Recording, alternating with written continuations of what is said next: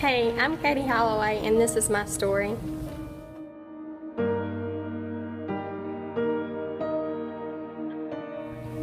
I went to church at the Little Red Church up the road. My grandmother went and she got my mother, Doreen, to come and they just had to hear Brother Robert preach. The first time that we visited Bethlehem at the Little Red Church, it was small. We sat in the back. We had wooden pews. It was nothing that I was used to. We heard Brother Robert preach, and it was amazing. We had to go back. Brother Robert, he helped us with a lot of family problems. He came to the house and he would talk to us and he would preach to my mother when she was going through problems. The church, it just became a family.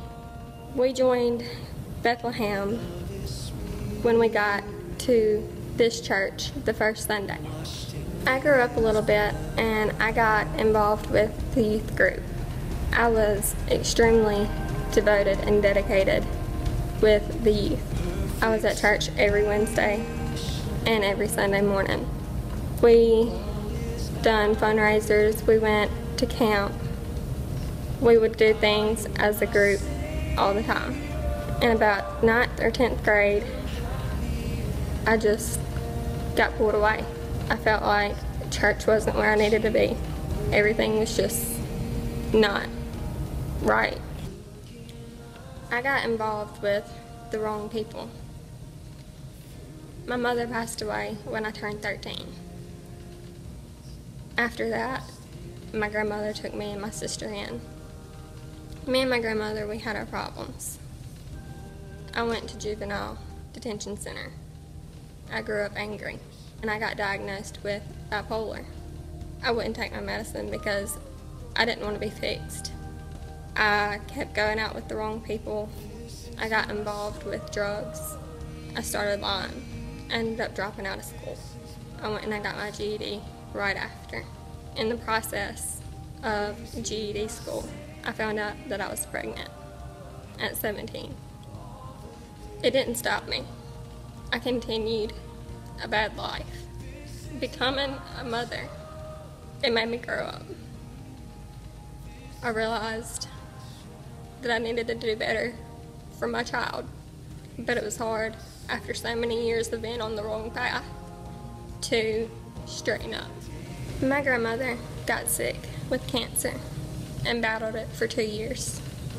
When I lost her, I went down a big hill. That was my comfort zone. When I was on my own, I started drinking, heavily doing drugs. I wasn't the parent that I needed to be. I finally got to the point where I'd lost my job. I ended up going to jail.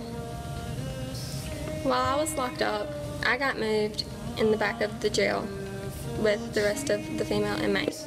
I asked for two days to get a Bible. About 3 o'clock Sunday morning, an officer woke me up to hand me a Bible when they came around to bring breakfast. Another officer brought me a second Bible. I started reading in Genesis, and I've read it before. I've never opened my eyes to see what God can truly do, and it hit me. Well, I wasn't, I wasn't sure that I was on the right path, and reading the Bible. So I asked God to take me where I needed to be. And I looked through the contents and I opened the book to Psalms. Every verse in Psalms was a prayer.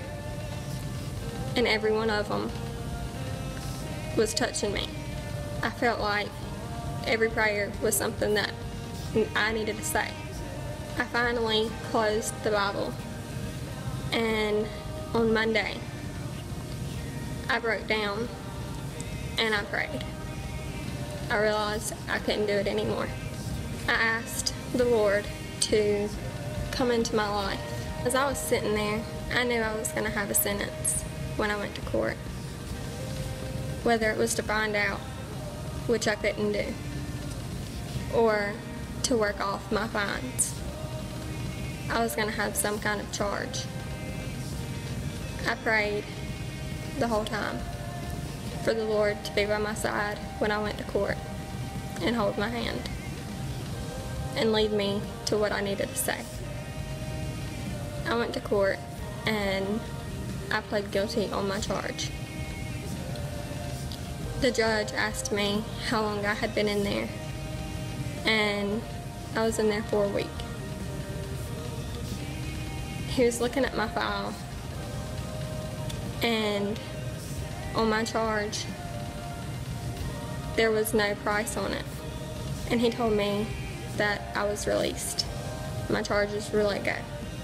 And I got to get out of jail. It was like a second breath that God was giving me.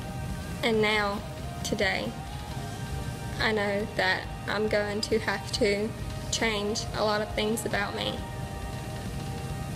But I'm a child of God, and it is possible. My sister told me when I got out that baptism would be Sunday. We called Brother Jamie and he asked if I wanted to go ahead and get baptized. And I did.